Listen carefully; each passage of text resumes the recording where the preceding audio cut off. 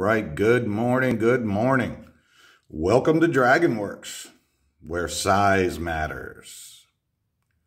And this morning, we're talking a 2300 cc's of raw torque between your legs. That's right. 2005 Triumph Rocket 3. She is a monster. For sure. So how you folks been doing? Yeah, it's been a little while since I did a video. That's because I got hit with what's known as the perfect storm. Uh, at least it seemed that way. I had a group of bikes come in at the same time that ended up needing way more than what was originally anticipated because I can only go by what the owner tells me on the phone when they book their appointment.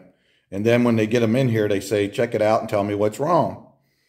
And a lot of times the owner does not know what all is wrong with their motorcycle. So some of those are still, in fact, in here and have been in here for a little while working through these problems. And a lot of times I start videos introductory and I'm all happy. And then it turns sour once I start going through the bike. And I don't like to post videos on people's hardship. Um, right now, I have, like I say, I got four or five of them in here right now, and we're going to go over some of them individually. We're getting things worked out. It's everything's okay. um, you know, I try when when I come across problems. Uh, you can ask any customer ever. I do my best to eliminate the financial hardship and I put some of my own sweat into their projects very, very often um, and what have you to help them through the process to make it a little less painful. That's just who I am. I'm passionate about this. This is my life. It's not only my business. Uh, it's more my life than it even is a business. But anyway, we'll talk about each individual one on their own video. Today we got the 2005 Triumph Rocket 3. And yes, I did a introductory video to this. Uh, I think I posted it on YouTube. And then shortly after, um, we ran into a lot of work and the customer was pretty upset. Uh, not at me by any means, but uh, pretty upset at the previous owner. But anyway, he had to bite the bullet. He was already in it. And so we proceeded. Uh, the very first thing that happened is the customer actually rode the bike uh, I'm sorry, the previous owner, sorry about the handshake there. The previous owner actually rode the bike to the customer's house, problem free. It checked out good. He left, and then they decided to ride it, and they started it up, and that's when the old radiator busted loose and spewed all of the coolant out everywhere. Um, that's what started the issue.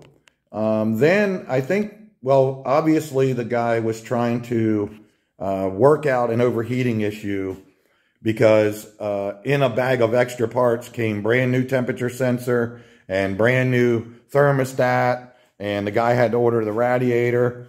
Well, so then one of the reasons the guy never installed the stuff is because it goes way back in there. And so I guess he just left it overheat and overheat until it started busting out the old radiator. And uh, so he doctored it up and sold it, basically, is what happened. And uh, now my customer and I are stuck with the aftermath, but we're gaining on it. Uh, I'm going to post up, if I haven't already while I'm talking here, some pictures of what I went through to get to that. So the thermostat housing is right there. Eh, it doesn't look too bad, right? Probably could get that. I don't have any light on it, folks. There you go. Well, way in back beside that and under the throttle bodies is the temperature sensor. Well, you can't get to that. No, they wouldn't put that anywhere convenient. So you have to strip the tank off. Uh, behind this cover is the intake, the, uh, I'm sorry, the air cleaner and the throttle bodies. And you take them off so you can get this oil tank off. Um, this is a separate oil tank from the engine. It unbolts and pulls off. You got to drain all the oil out. And then at that time, you can actually access the temperature sensor, which is mysteriously hiding back in there. Um, whole lot of work. because also I found there was uh, fuel lines that were bad I had to replace. There was so much stuff that had to come off of this bike just to put in that one uh, little temperature sensor. So also I got to, next week, I'm going to have to pull these forks off here and got to do the fork seals because all the oil has gone out of them and the bike is basically almost tipping over.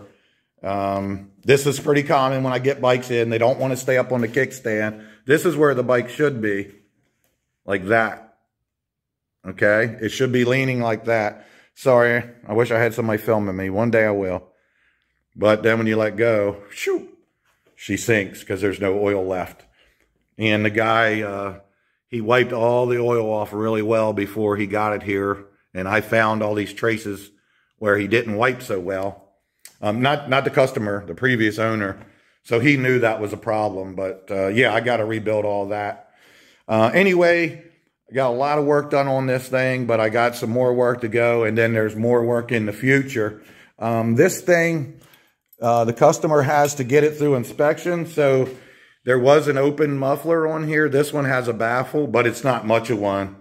I'm going to do a cold start for you here real quick because I got all that stuff tidied up. I'm just going to do the forks next week. The customer just brought me the seals. Stand by. You ready?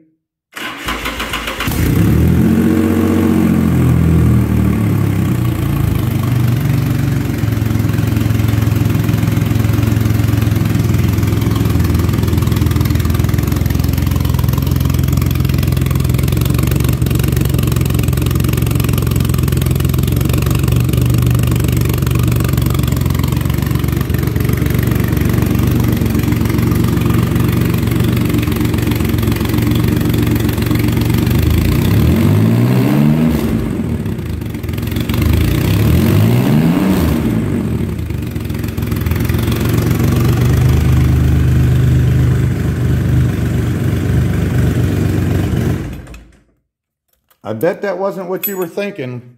2.3 liter is what you got right there. It's a inline three cylinder, fuel injected, uh, multi-valve. I think it's two intake, two exhaust. Um, when I pulled the throttle bodies off the other side, the inside of the motor looks sparkling beautiful. it looks brand new. I don't understand it. And that's the other thing that's really confusing is the previous owner told this customer that it had 160,000 miles on it when the odometer broke. And I don't think that's right at all. 60 sounds right. Uh, that's what we saw on here. Now, I don't know if it works. I haven't taken it for a ride or anything yet. It hasn't been able. But I would say that story would be 60,000. And then they think they went another 15,000 since then whatever. That's just a story, but the inside of the motor does not look like that. Uh, does not look like 160,000 miles. No way, no how, uh, unless they totally rebuilt the thing. But anyway, there was some unfortunate events here, but we're getting them sorted out. I got him taken care of. It's back together. Um, I got to put this wire mesh on the front. There's a cover that goes here that you'll see. Um, maybe I'll flash a picture. But the new radiator is actually a little shorter. So there's a front screen, which is right here behind me. This front screen goes on there, but because the radiator's shorter, uh, the bolts don't quite work out and it smashes the screen and makes it bow out. So I got to get some bolts and some spacers for that. And like I said, next week I'm going to do the forks. And then that's going to be it for a while. He's got to get some tires on it and get it through inspection in Maryland which is going to be a little tough, but I think he's going to be okay. All right, guys, so that's what I've been up to. Like I said, I'll do some individual videos um, on the catastrophe.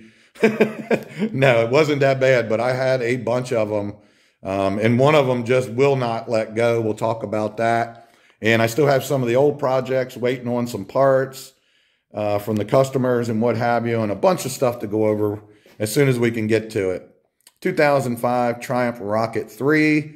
And when I get done, maybe I'll do a better overall video and try to get this thing out for a ride or something. All right, guys. Thanks for watching. Need anything done, hit me up. Or, well, okay, anyway. Peace out.